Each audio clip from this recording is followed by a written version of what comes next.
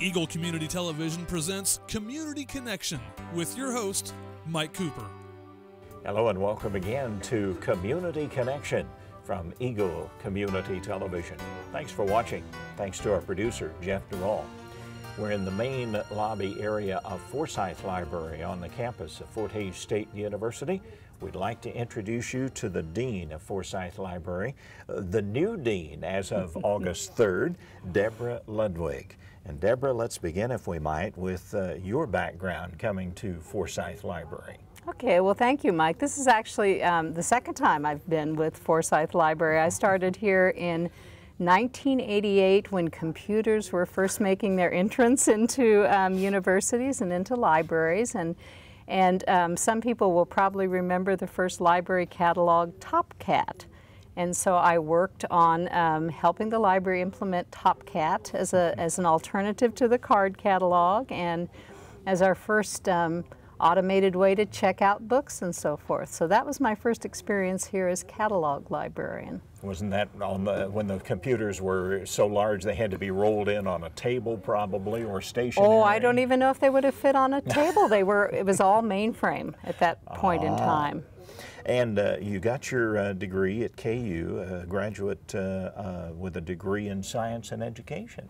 I um, graduated from KU, and my first job was as a junior high school teacher. I did that for five years, and then my husband and I moved to Colorado to a small town, and um, he is also an Eng he was an English teacher, and so. Um, I started working in a library and I just got hooked. I have to tell you, Monte Vista Public Library is what started me on my path to librarianship. I was a school librarian for a period of time. I was the public library director in Alamosa, Colorado, and also worked at Adams State for a short period of time on a grant. And then that was when I came to Fort Hays, right out of uh, my graduate program. And you got your Master of Library Science at Texas Women's University in I Denton. did. I did.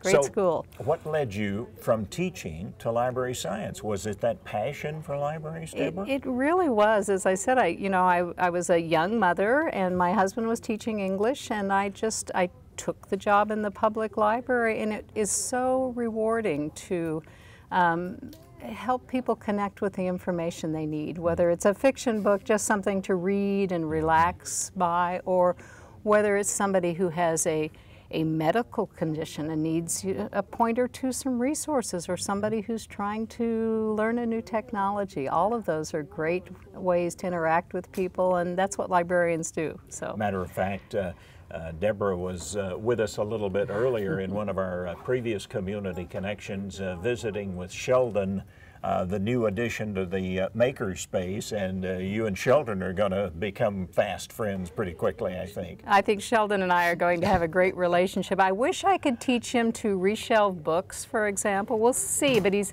he's not very tall, so I'm not sure how that would work out for us. Maybe in a later life, perhaps. Talk about. I always like to ask about early influences. Uh, okay. Who influenced your life? Well, I, I will tell you, my parents were um, school teachers originally. My mom and dad both taught in country schools out around Edmond, Kansas, in uh, Graham County and Norton County. Um, I would see pictures in my mother's photo album of all of her eighth grade students, and you know, she told me a lot of stories about the, the country schools. I went to high school in um, St. Francis, Kansas, and I had some great, great teachers there, including um, Carl Werner, who was a big influence. I think I became a, an English teacher probably mostly because of Carl Werner. And and uh, my father went on to become principal and then superintendent in St. Francis. And when my father retired, Carl Warner became the superintendent. So somebody certainly that I have a lot of admiration for. And, and I love teaching junior high school, I have to say. Um, I'm still in touch with uh, one of my former students from junior high school. So um, you must have had a ball then, Deborah, while the young people from middle school were here for the Ben Franklin papers, which the library has presented over the past few years. I did have a ball. It was so much fun. And Cynthia, Garrett, Cynthia Garrity, um, our Learning uh, Commons coordinator, did a wonderful exercise with them, working with some technology to talk about facts about Ben Franklin, and there were stations all around the library where they had different learning activities. It was great fun. Tell me about um, the unique features of Forsyth. I know this is kind of unfair since you've only been here so, to August, but uh, what you, you were here previously. Mm -hmm. So talk about some of the uniqueness of Forsyth Library here on the campus. Well, one of the things that just has impressed me so much about Forsyth Library is the partnerships that we have with different student groups, such as the Center for Civic Leadership, for example. We, um, of course, have the Tiger Food Bank. I believe you talked with them earlier. Mm-hmm. Um, about their program and so that's a nice partnership and you've now seen the makerspace that's a partnership of course with the science and mathematics education institute but we also have some things like the Times Talk, um, which is part of the American uh, Democracy Project. And what I really like about that is it's a leadership opportunity for our students. So they organize it, they come see me and tell me about the dates. Um, they work with their advisor um, for that project and, and um, they do the setup, they make it all happen. And so I really like that um, we have projects like that. We'll have Swipe Out, uh, I'm going to get this wrong, Swipe for Hunger, Swipe Out Hunger. Uh -huh. I'm sorry, Swipe Out Hunger is the name of it. We'll have that in October where we do packaging of meals to send mm -hmm. overseas. Um, we'll have a um, event in, it's called it's called Christmas. I'm getting this wrong. It's a it's an event to help children, needy children, in Christmas, where we'll do some gift packaging as well. And again, those are all run by students, and so just fabulous to see them use the library as a as a hub for well, engagement. Again, another perfect example of Fort Hays and the community mm -hmm. ties which mm -hmm. the mm-hmm. university brings and Forsyth is a major part of that. Mm -hmm. And that Times Talk is great because it's a community event. People can come, they can listen for an hour or such, and uh, be informed and get some uh, ideas on issues, all student driven then. Absolutely, absolutely. And the other wonderful program that we have, I think, um, that's unique is the um, it's our special collections area. We have a Volga German collection, which um, is a nice complement to what the Hays Public Library also has. I see ahead of us some real opportunities to work together.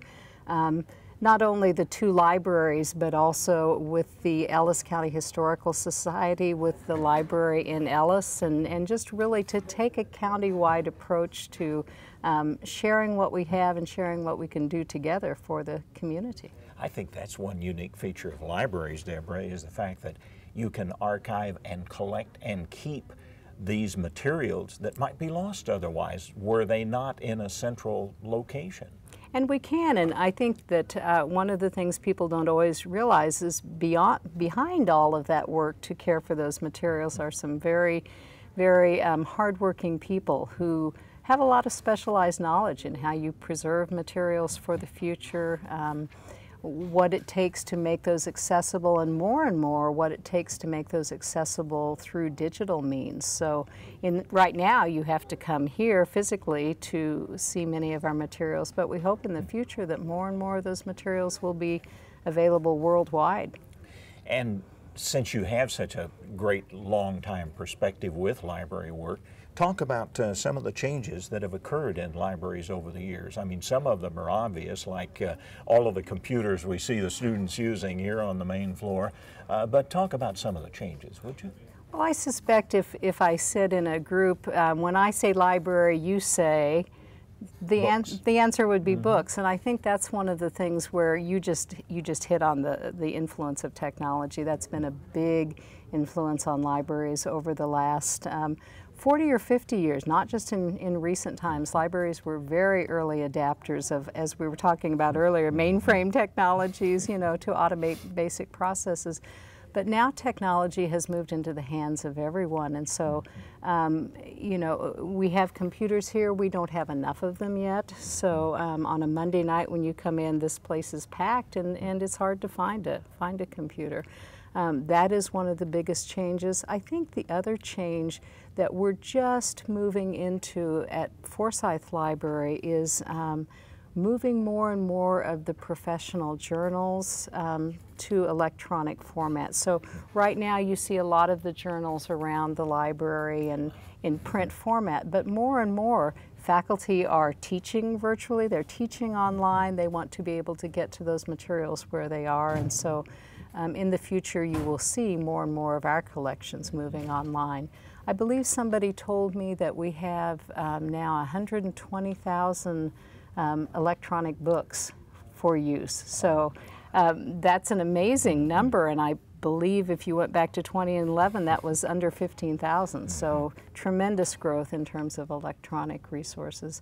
The other thing that I think is changing, and the Makerspace helps to exemplify this, is that the reason libraries have had books and have had journals for so many years is because um, we're about learning. Mm-hmm. That's the point of having those resources, to be able to learn, to be able to research something new.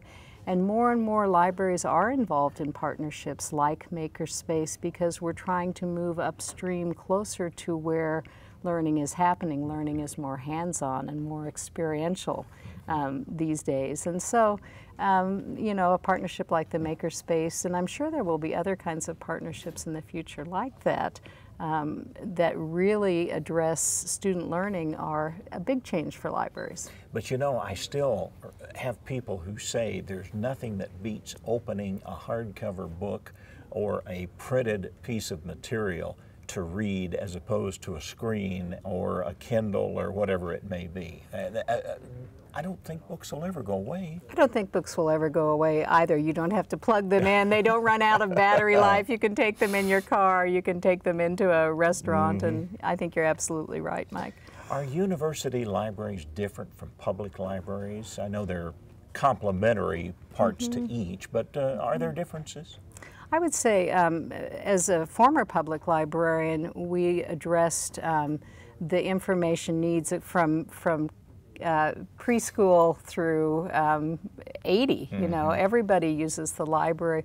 We're a little bit more focused in academic libraries on a, on a smaller population, a more narrow population, not smaller in terms of numbers, but focused on what students need and student learning. And, and so um, that is a difference. But I think we both have in common wanting to be hubs for our communities, wanting people to be comfortable coming in and engaging in the library. We want the library to be their place. And so um, in that way, we have a lot of a lot of commonality. Expand on that in our final minute, if you would, Deborah. That libraries seem to be a part of the fabric of the community. That every community, from the early days of Andrew Carnegie days, they're they're a central part of the community. You know, it's really interesting because people have predicted the end of libraries and quite the opposite is happening. We just looked at our own instruction statistics, for example, and we've had more students in the last few years engaged in coming into the library and um, taking part in some of the instruction than we offer than in the past. So I, I think the um, rumors of our death were premature. well, we're certainly happy for such a beautiful facility, such an engaging facility as Forsyth Library and to meet the new Dean of Forsyth Library, Deborah Ludwig. She's our community connection. Thanks for watching.